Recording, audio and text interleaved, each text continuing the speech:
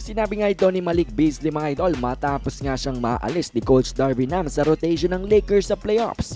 Pero bago yan ay eto muna nga si Jamal Murray at ang kanyang historic run sa Western Conference Finals. Dahil itong si Jamal Murray mga idol ang first NBA player in NBA history na mag-average nga ng 30 points while shooting 50% sa field, 40% sa tres, and 90% sa mga free throws in a conference finals series sa buong 70 plus years nga na nag-e-exist ang NBA mga idol, si Jamal Murray pa lamang ang nakakagawa ng grabe ngang performance na ito. At ang kanyang exact numbers mga idol laban sa Lakers ay 32.5 points per game, 6.3 rebounds, and 5.3 assists.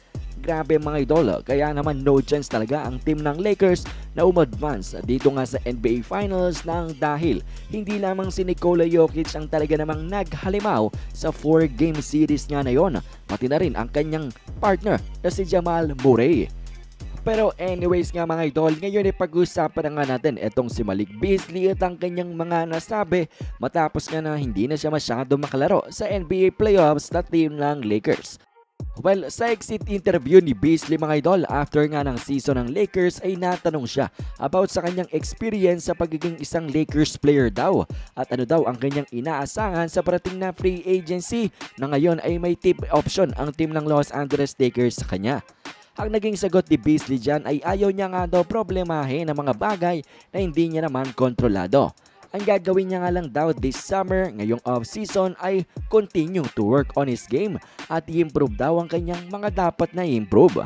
Pero sa tingin niya nga rin daw na nagkaroon siya ng magandang tsansa dito sa Lakers team na maglaro at baka contribute daw sa pag-turn around ng kanilang season nang dumating sila dito via trade at nagkaroon daw sila ng 18 and 8 record matapos ng All-Star break.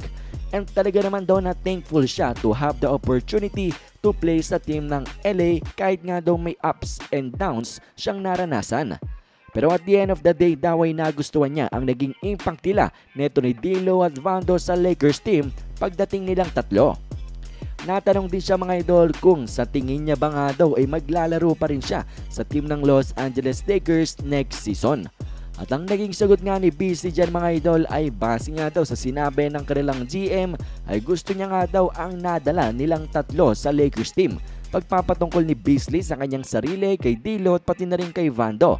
Ang maganda nga daw na nadala nila na culture sa team ng LA at gusto nga daw itong ipagpatuloy ng team ng LA Lakers. Pero hindi pa rin naman daw sigurado nang dahil hindi naman daw natin alam ano ang mangyayari sa inarap.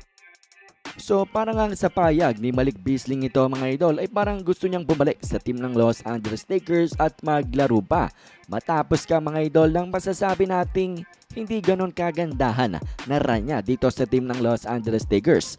Alam naman natin na talagang pinobrema neto ni Malik Beasley ang kanyang shooting mga idol at talaga namang hindi siya katulad dung dati sa nakaraang team niya na talaga namang 3 point threat siya at hanggang sa nawala na nga siya sa rotation mga idol sa playoffs lang dahil hindi nga siya makashoot ng kanyang mga 3-pointers and then liability pa siya sa depensa.